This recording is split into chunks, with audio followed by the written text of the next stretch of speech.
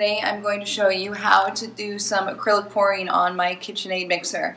Now these techniques can be applied to anything. You don't have to do it on your KitchenAid, but I just thought this would be really fun to see how a pour turns out. Now before I started, I mixed some paints. For me, I did all shades of blue because those are my favorite things to work with. And I did white and four shades of blue. Now white I would make the most of. And for all of my paints, I use a mixture of acrylic paint mixed with a pouring medium, Liquitex, Floetrol, water, combination of them.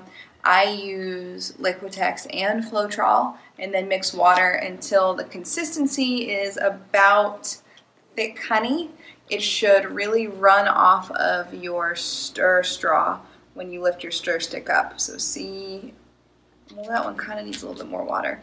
Let's see. See, there you go. You get some nice running off of it. So let's add a little more water to this white before we get going.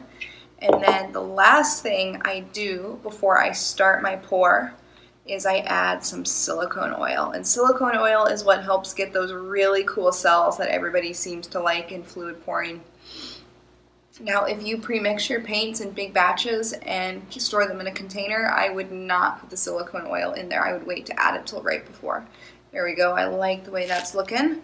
So let's get started. And sorry if my head gets cut off, but I have to stand up to pour over the mixer, so you might just see my body. Anyways, let's get started.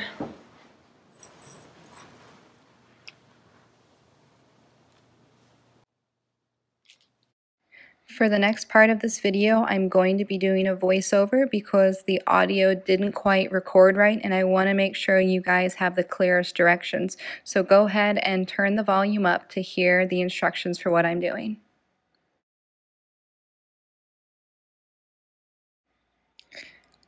I went ahead and added the silicone oil into all of my colors and I'm giving it one final stir before I start. And as you can see, I have taped off the metal areas of my mixer where I don't want the paint to go. And I also have taped on the back where there is ventilation.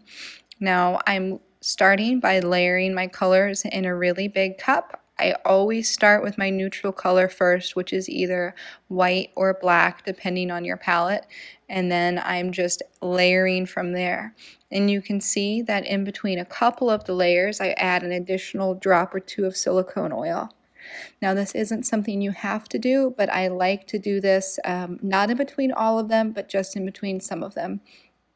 And then when I'm done adding all of my colors, I take a stir stick and I just stir two or three times to mix the paints a little bit. Now don't mix too much or you will muddy your colors up.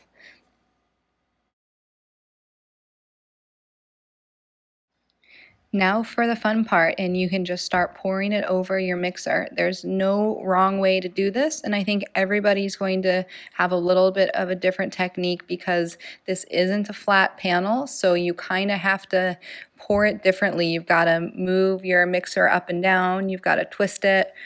Um, you've got to kind of pour it an angle, so whatever way you can get your paint on there, get your paint on there. As I've said before, guys, there is absolutely no wrong way to pour this on there. You can see that I have a lot of blank spots that I'm going back in and I'm filling with more paint.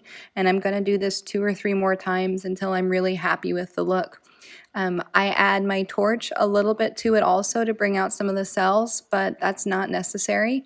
And you also don't even really have to um, pick it up and turn it if you don't want. It really didn't help a whole lot um, on mine, but it may help with yours. When I'm done with the pour, I let it dry for about a week until I was certain it was completely dry. And then I sprayed on two to three coats of a regular acrylic varnish. I used Rust-Oleum's Triple Thick Glaze, but you can use your um, spray finish of choice. Now let me know how you guys like this video. I'm going to go ahead and turn on some music for you for the last part of it where you can just see me tweaking it. I would love to hear your thoughts on this in the comments below and let me know if there's any other interesting things you'd like to see an acrylic pour on. Thanks for tuning in today guys with acrylic pouring with Ann Upton.